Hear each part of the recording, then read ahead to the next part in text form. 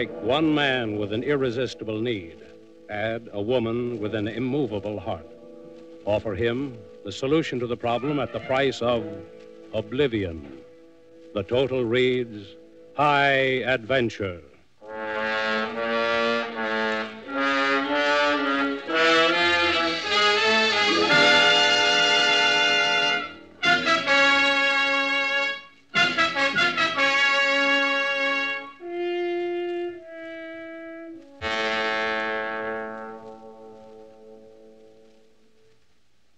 Meetings in order, friends and members. Welcome to the High Adventure Society. As we do each week at this time, we're gathered here to induct a new member.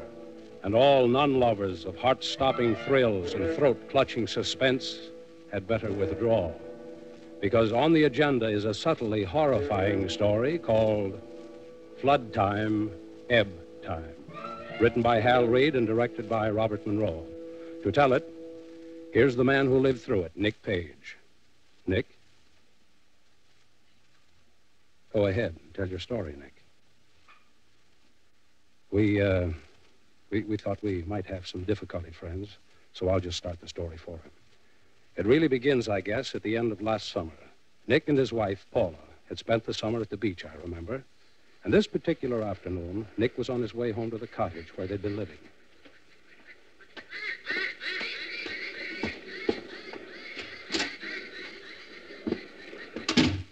Paula. Oh. Hello, Nick. Well, the birds are leaving. I just saw some mallards flying south. Yes, now we'll really be alone. Be wonderful, won't it? Oh, yes. Wonderful. Remember our first summer out here? We felt so bad about the birds leaving, we'd have to go back to town. Oh, who's that in the living room? Dad? Yes. He brought that stuff from the apartment. Well, aren't you? I've got some things to unpack. Let's see now. Spoons. One, two, three, four, five. Hello, Dad. Oh, hello, Nick. Well, thanks for bringing the things over. That's all right. We'll need them this winter. Uh, I want to talk to you about that, Nick. I took Paula to Dr. Davis today. Is he the nearest doctor? Yeah? I thought you were so worried about her. Bad weather, you could never get a doctor. Well, it won't matter. Nick, this is no place to stay out of season. These cottages are none too strong, and the surf here can be very rough. You're right on the beach, and a bad storm could wash his shack away before you know it. Be reasonable. Don't you understand? What little time we have left, I want us to spend together. Alone. Uh, look, son. All right. But why pretend she's dying? Why pretend she isn't? There's only one thing wrong with that girl. She's unhappy. She's not. There's never been a harsh word between us. Maybe that's it. What? I don't know. Son, before you were married, you two were. She hasn't changed. That isn't what I meant. There's never been anyone but Paula. Yes, I know. You don't understand. Don't I? We're happy together. Are you? Perfectly happy. Just let me alone. All your life. And you still do it. Do what? Close your eyes to whatever you don't want to see. What do you mean?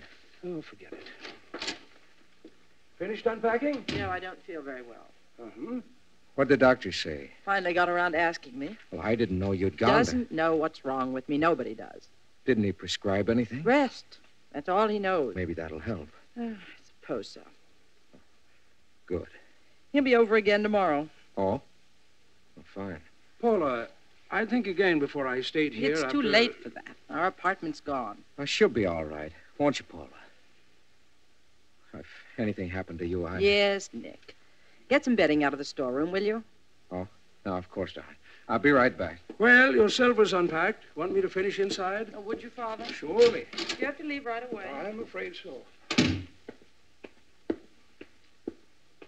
Tell you what I think.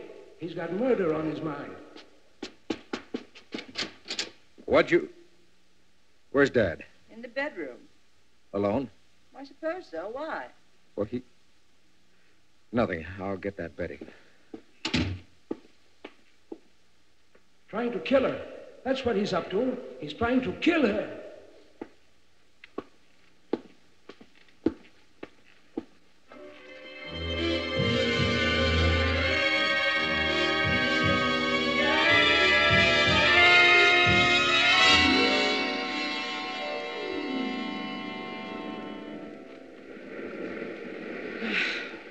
Doctor? Oh, can't you be quiet, Nick? Oh, don't be frightened, darling. Uh, Dr. Morley. Oh, must be deaf. I'll be right back. Don't hurry. Dr. Morley, What's the matter? where's Dr. Davis? Give him a chance, Mr. Page. This storm. Can't you do something? Well, I'm not familiar with your wife's case. All I know is that Dr. Davis asked me to meet him here for consultation. Well, why isn't he here? You can't blame Dr. Davis. Oh, what do you mean? Living out here at the end of nowhere this time of year. December is no time. All right, all right. Keep watching for him. I can't watch for him. Talk to you, too. Murderer. That's a lie. What's that? I'm not a murderer. What? Who said you were? You think I couldn't hear you? Me? Nick, Is that. uh, where are you? Oh, Dad. In here, Mr. Page. What's the story, Nick? Is she... What happened? You're Uh, car stalled. The road's flooded. I, I had to wait. flooded. He'll never get here now. Got to get out of here. But Paula can't go out in She'll that. have to. Are you crazy? You can't stay here. Doesn't matter now. The House is liable to wash away. Doesn't matter now. Snap out of it, Nick. She'll die anyway. She'll die anyway. All right, we'll wait a few minutes. Maybe Davis will get here yet. And you're sure Paula's up? I'll go talk to her. Doctor, Yes? it's no use. He won't come now, not in time. How, how much longer has she got? Now, Mr. Page. Don't. I know she's dying. Isn't she? Well, I'm not familiar with the case, but I certainly wouldn't say that she was How, how much longer will she live? Can she last out the day? We can't wait any longer. The house will go any minute. But Paula, I- She's asleep. asleep. You sure she? About time. That hypo I give. That was the house next door. Nick, get Paula. I'll let her die in peace, can't you? Doctor, can you wake her? I'll try. Mrs. Page. Oh, don't shout at her like Wasted that. Wasted enough time. All right, all right. I'll wake her. Paula. Wake up, darling. You can't wake her up like that. She's had a Shut hy- up. Paula. Let me kiss you awake. Here.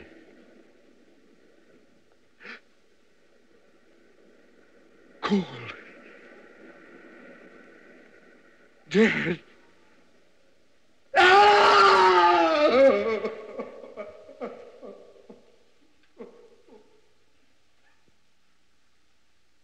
Nick, What? Nick, Oh, come back, Nick. Paula? Come back. Where, where's the doctor? And Dad?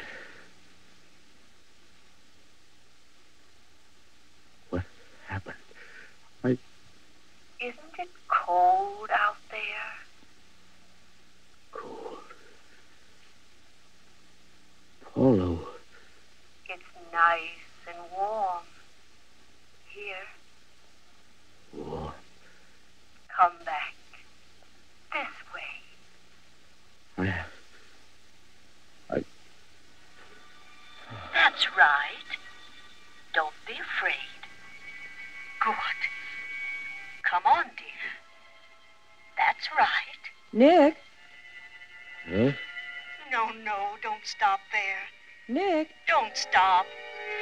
Come all the way back. Come back to me. Nick? Oh, Nick, don't turn around and go away again. Don't go away again. Don't. Nick? Huh? Nick, Yeah? have you seen what's going on outside? Oh, what do you mean? Come on, I'll show you. All right.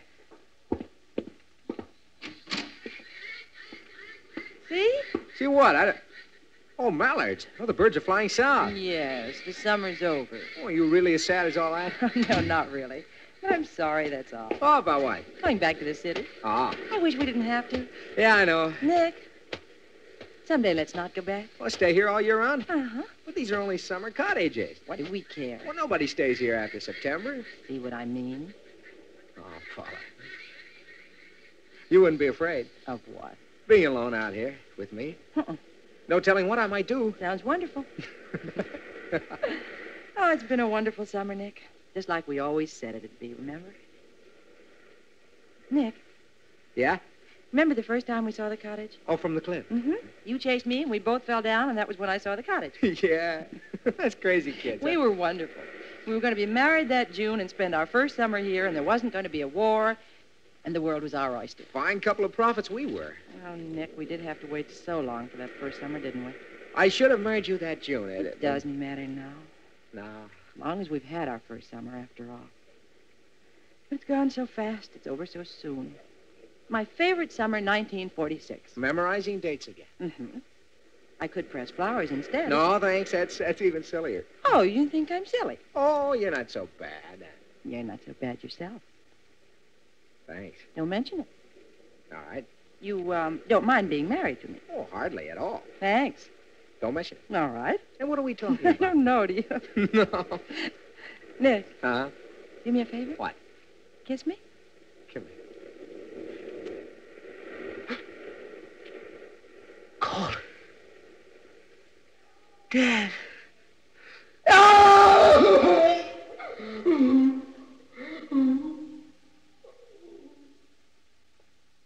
Nick, I kissed her. And she was. What? Nick, come back. All the way. But- It's warm and safe, and nothing can hurt you here. Come on now. I. Yeah. Good. I knew you'd want to come back. That's fine. Come on. Nick. What? Don't stop, Nick. Keep on coming back. Nick. Oh, no. Don't stop. Nick. Nick, why do you turn away like that? Don't go away again. Nick. Nick. What? I thought you wanted to walk. Oh, all right. Nick, Uh-huh. where we live. Oh, I don't know, Paula. Well, it's important. Is it? Not really. You like that song, huh? Mm-hmm. Race you to the top of the cliff. Come on, Slowpoke. Hey, hey! hey, come here, you little devil. You. Stop. Ah, you stop. You make me fall. Nick. Oh, oh. Oh, no. Ah. Look what you've done. Well, it's your own fault. You. Nick, Oh, what's the matter? Look down there on the beach. Oh, the cottages? The white one with the red roof. Yeah, yeah. I've decided. What? That's where we're going to live. Hey, hey, take it easy. What do you mean? I don't even get my degree till June. Well, Well, suppose I can't get a job. you better. Besides, I'd marry you anyway. Oh, fine. And then what? And then we'll really be together. All the time. Oh, boy. And we'll live in that house down there. Can't. There's only a summer cottage. Well, then we'll spend our first summer there. Next summer? Mm-hmm. Unless there's a war. Ah, there won't be any war. Oh. Hmm? Hmm? Just purring. Purring? Mm-hmm. Oh. It's been a good day, Nick. Seeing our house and everything. May 23rd, 1939. 1939. I'll show you how to make it a good year. Come here. Mm, lie still, Nick. You'll break the spell. Oh, what spell? Beast. For me? Yes, you. It's the way you made me. What? Before I met you, I was, I was just a scared little rabbit. Ha! Well, didn't I used to sit outside your house when you played the piano, too scared to go in and meet you? You did? Mm-hmm. But now, come here, I'll show you. Oh, no, you don't. Young lady, do you want to live in that cottage down there? Yes, sir. You want to marry me this June? Yes, sir. All right, then. You going to kiss me? Yes, Nick.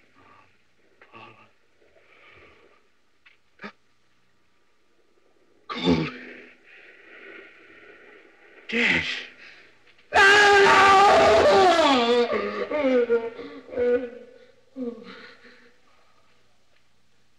Nick, Yeah? I told you not to go away again. Now, come back. Yeah. That's right. Yes, that's fine. Nothing to be afraid of. Nothing to worry about. Just come back. That's right. Nick. For Dad. I. Nick, don't stop. Don't turn away now. Not when you've come so close to me. Nick! Nick! Don't go away again. Not again, Nick. Doctor, Yes, see if you can rouse him. I'll try. Oh, Nick, now you'll have to start all over again. Mr. Page, come out of it. There's no use. Are you sure? Quite sure.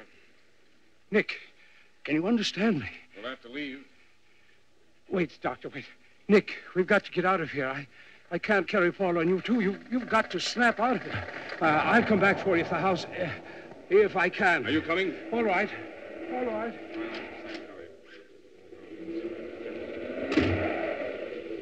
Don't stay there, Back. Maybe. Maybe I. What? What? Stop that now. Stop that. You want to come back. You know you do. I. I. There's nothing to worry about here. Come back again. I. I. Oh, Nick, why didn't you come back? Oh. Water's too close. Drown if I. Dad. Dad. Oh, it's too late. I'm gone. Gotta get out of here. Gotta get out.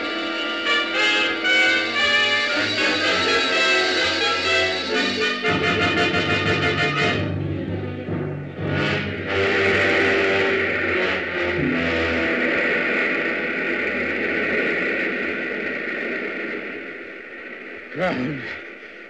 Solid ground.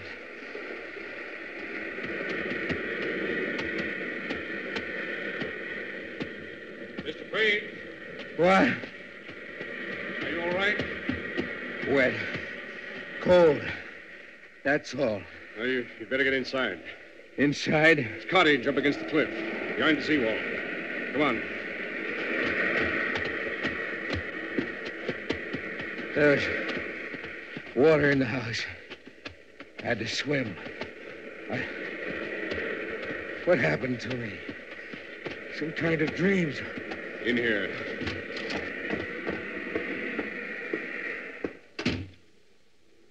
Your wife's in the other room. She's. I know. I know. You want to see her? No. No, I couldn't. Oh, you'd better get those wet clothes on. Kissed her. Then those dreams are. It's so real. There was a voice. Somebody's voice. She called me and I'd go, and then Paula would call me and I'd stop to see what she wanted. And that voice kept kept saying, "Come back." Heard it before. I was almost right up to her, and then Dad called me and I was drowning. Had to save myself. She sounded so nice. She said, warm, safe. Mr. Page. What? I think I understand. This is real, here and now. And you must hang on to it, like it or not. What? That other world is only in your mind. You live inside your mind, like crawling into a hole and pulling the hole in after you. But uh, why, why would I? Well, from the small chance I had to observe your relations with your wife, my guess is the kind of life you had you couldn't stand. You thought you were stuck with it. With Paula? It was perfect. That's how it starts, blinding yourself to the truth. Paula was always perfect. In your dream world, she is. But that isn't your wife. That's the woman you always wanted her to be. The way I wanted her. Every time I kissed her, she was. Of course. There's always something like that. That's what your mind did to punish itself. Punish itself. For what? Well, let's talk about that later. For what? For wanting her dead. You're crazy. You're crazy. Why'd you convince yourself she was dying? She was. No. Neurotic, that's all. Davis put you on the case. That's my specialty. Nervous and mental cases. Crazy old fool. She's dead, isn't she? Dead? She's healthier than I am. She's alive. Of course. She's asleep in the other room. That's what you told me before. And when I kissed her. I gave her a hypo this morning. It's a wonder she stayed awake as long as. Just a minute. Gotta see. Paul! Breathe. Wake up, darling. Mm-hmm. I thought you were dead. I thought you were dead. What place is this? It doesn't matter. Let me. Be careful, Mr. Page. Go away, Doctor. When you kiss her, it's quite plain how she feels. Shut up. What's he talking? Forget him, darling. Let me tell you how much Now I, let me sleep, will you? I understand. Later, Yes, later. of later. course, darling. Close your eyes and All right, kiss me. sleep tight, darling.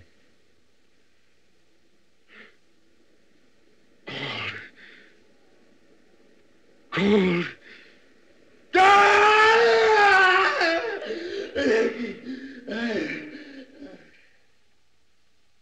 Nick, Yes. come back, dear. All the way. Yes. That's right. Come on, dear. Mr. Page. Don't stop, Nick. No. I'm coming. All the way this time. Mr. Page. Good. That's a good boy. Come here to me. I. I know who. Of course you know me. Yes. Yes, I do. There. I knew you'd come back. That's my good little boy. Are you tired, Nick? Uh huh. Here, I'll hold you right next to my heart. There. Now, sleep. Yes, Mommy. I'm gonna sleep here. All my life.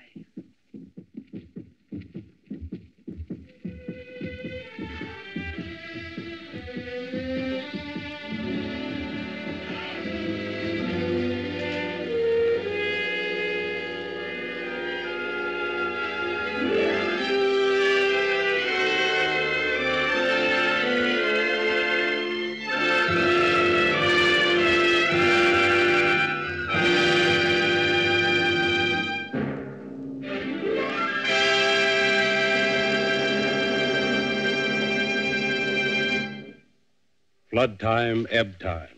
Another strange story of men and women that only can be called high adventure. Thank you, new member, and we'll place your story in the archives of the High Adventure Society and mark it hold for future publication. And at next week's meeting, friends and members, we're going to the big city for our story of action and suspense with Juniper Bush, which concerns itself with a man who lay unnoticed for 39 hours, 10 feet from civilization. His life dependent upon a single blade of grass. It's Juniper Bush, next week on High Adventure.